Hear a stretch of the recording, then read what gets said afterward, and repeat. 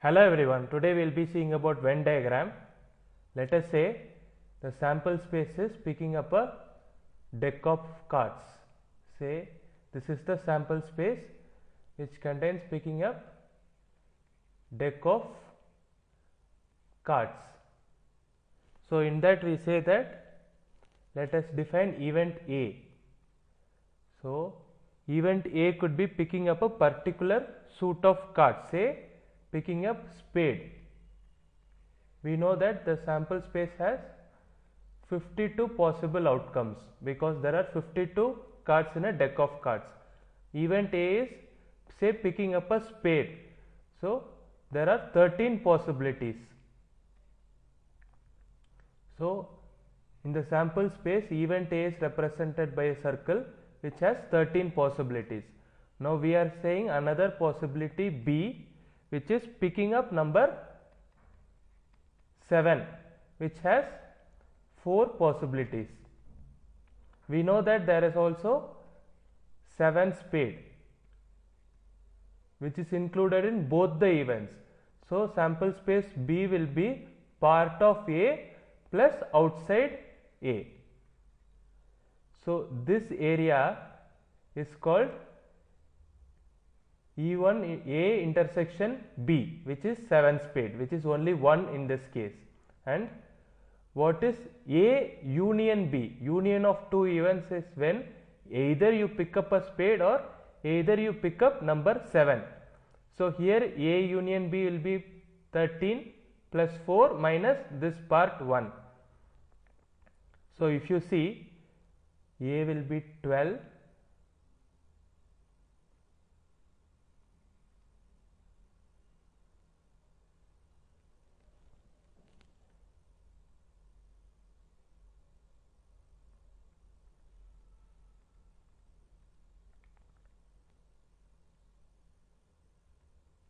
So if you see A, A is 13. So this part alone is 13 minus 1, 12 and this part is 4, 4 minus 1 here it is 3 and this part is 1.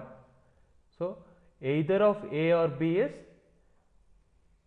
A union B which is nothing but 16 and A and B intersection of two events. That is E1 intersection E2 A intersection B is 1 so now let us see what is complement of an event. Suppose say this was the sample space and A is picking up spade. So if they ask the probability of not picking up spade, it is the space which is outside the sample event A. So this area is complement of A. Suppose you have event A which is picking up a spade. So there are 13 possibilities. Now we have another event B which is picking up a club which is another 13 possibilities but there is no intersection between them because there is no togetherness in this.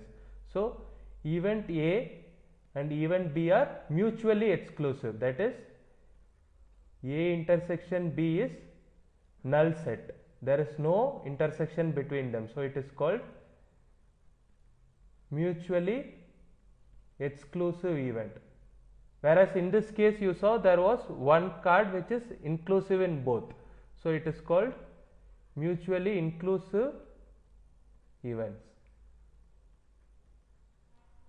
Mathematically we can say that P of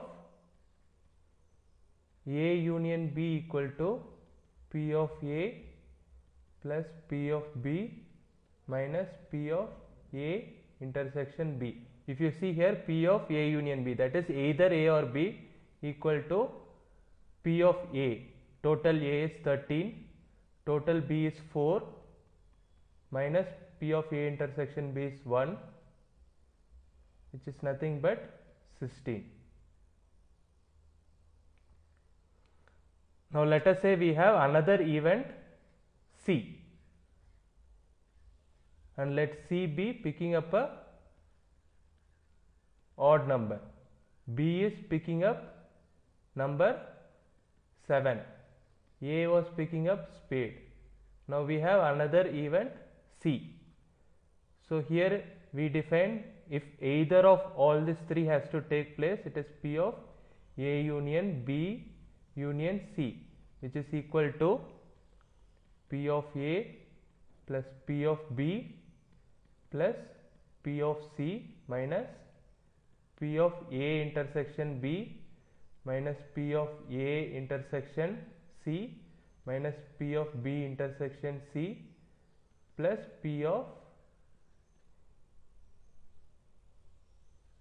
A intersection B intersection C that is this area. So to take area of all this we have this formula. This formula will help you in many questions. Thank you guys for watching the video. For continuing to watch videos please subscribe our channel.